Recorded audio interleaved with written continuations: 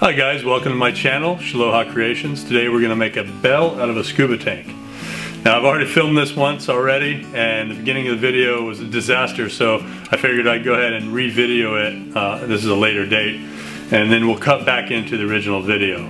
Uh, the things that I, I wanted to go over were some safety issues and so obviously we're cutting into a tank and you don't just want to grab any tank willy-nilly and just start cutting into it with a torch or a grinder or anything. So before you cut into a tank, know what was in it, know if it's under pressure.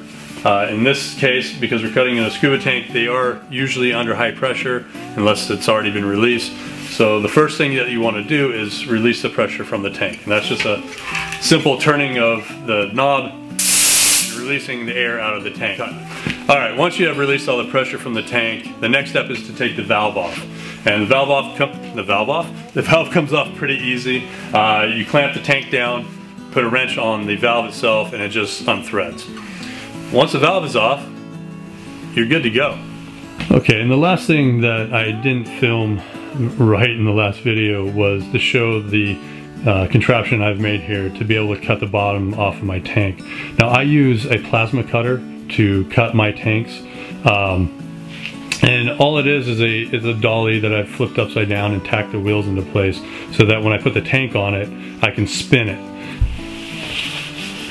Now that the tank is inside the cradle and is able to spin, I've taken my plasma cutter torch and I've made this block that it can sit up against.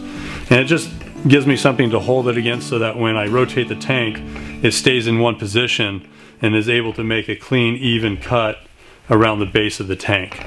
Uh, I'm not going to cut this tank yet. Uh, this is for another project, but you guys get the idea. So let's go ahead and cut to the original video. Okay, once you get the bottom cut off this thing, the next step here is just to, just basically uh, I cut a piece of paper here and uh, about the size of the tank. what I'm going to do is I'm just going to simply roll this up, roll the tank up into the piece of paper. Nice, just like that.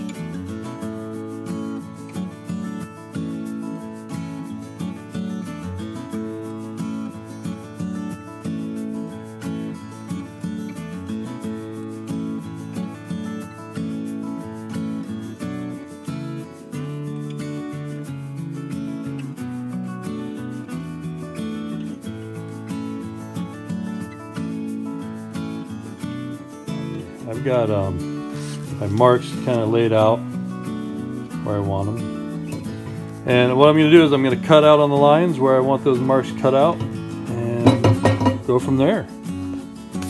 Okay, so I'll take this curve, transfer it over here, see how far I was off. So I got basically where I want it.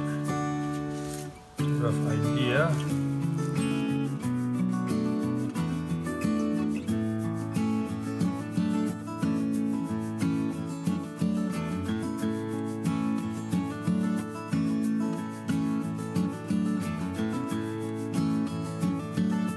Nice and cut out. Take our tank, roll her up again. Let's get that edge on there, not make the same mistake we made last time. Might even get a piece of tape ready.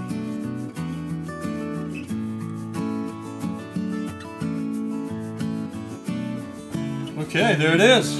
Now we just transfer these markings to the uh, tank itself. We'll just take our good old Sharpie here.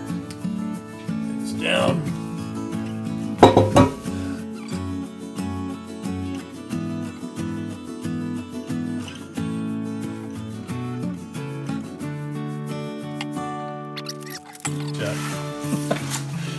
Need it again. But let's see, yep. I think we got it on there. Oh yeah. Oh, that's gonna be awesome, right? Who's ready to make some fire?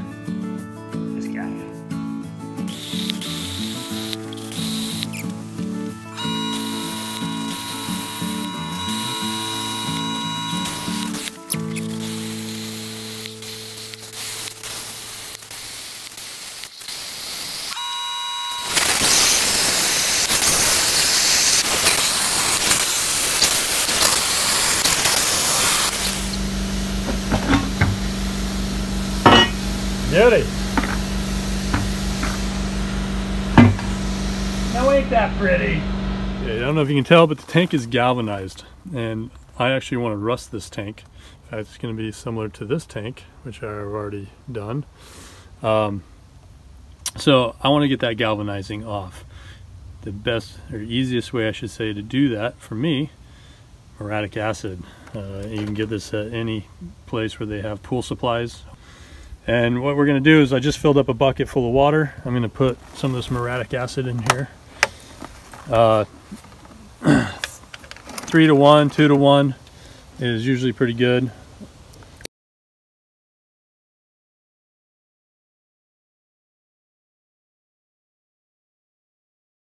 There we go. Now it's bubbling. Oh yeah, it's working. Okay, so here we are again. Uh, it's been 24 hours since the bell has been in the acid. Uh, obviously the bell didn't fit in the bucket, uh, completely submerged, so I had to flip it over. Um, halfway through and so that's why one side you can see is, is kind of rusted here but uh, that's fine because we're going to be rusting it anyway so it's just giving me a head start um, but look how nice and clean it looks right as after it comes out of the acid it's pretty neat and nice and shiny back down to the bare metal um, so anyway this is a good starting point and uh, we'll go from here and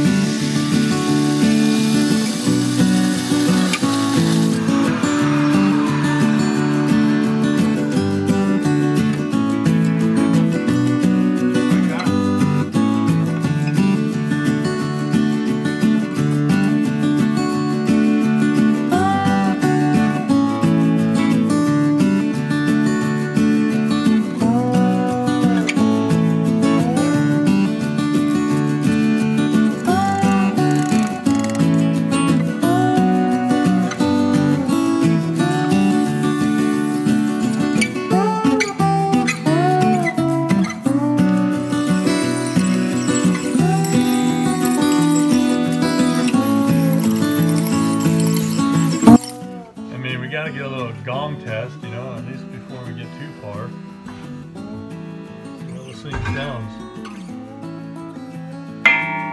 Oh yeah.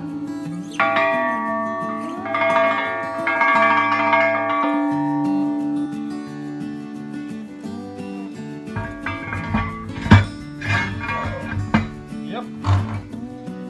Sounds nice. Real nice. Okay, I need a piece of wood for a gong. Aha! Some more walnut. And this piece is chewed up a little bit and perfect. Yeah, yeah, I think we can get a gong out of that. Go with this. Going over here.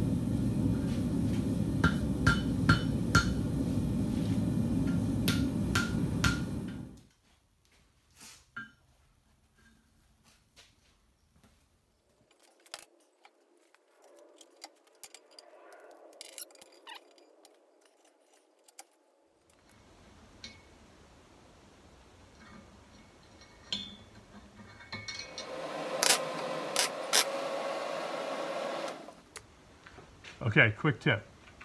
If you want to get rust off a metal, don't do what I'm about to do. what I'm about to do is show you how to rust metal quickly. Uh, this will put a nice rust patina on steel very quickly. In a few days, it'll have a nice orange to reddish, you know, rust color to it.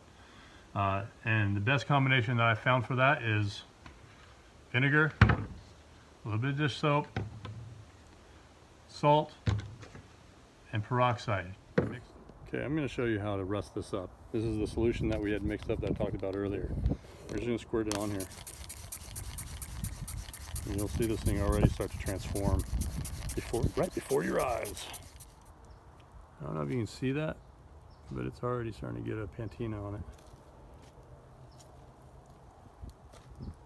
Look at the top there. See that rust forming already?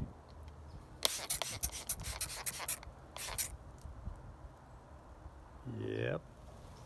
Okay, so it's been overnight and you can see already the uh, rust that is formed on here. It's starting to get a little bit more of an even coat. Starting to look nice.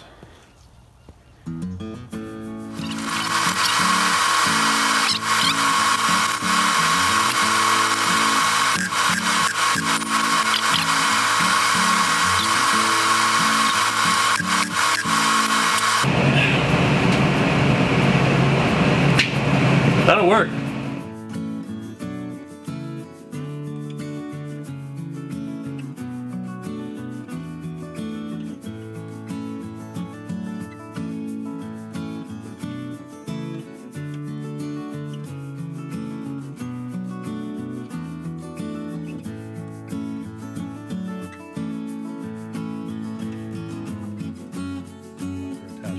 Uh, before I put this in there though, I do want to put a finish on the wood itself and I just use this uh, wood paste finish wax and it goes on pretty easy. You wipe it on, let it dry, wipe it off and you can put a few coats on. I like to put it on real thick at first, just like this.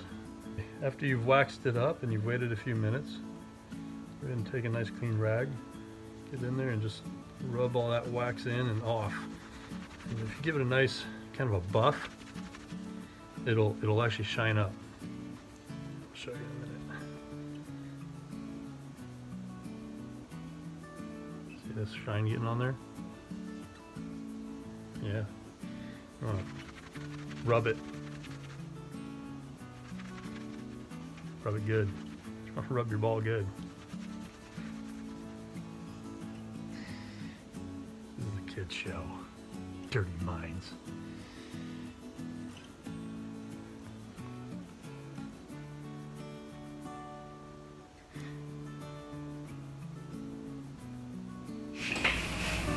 Have it, one scuba tank bell. I think it turned out great. I actually like the color that it is right now. Um, but it's eventually going to actually turn into one uniform color. Uh, the rust is going to continue to do its thing. Um, but I think it turned out beautiful. In fact, it has a, a beautiful ring as well. Yeah. So if you enjoyed this build and you'd like to see me do some more, please hit like and subscribe and uh, we'll continue doing this. And as always, Shaloha.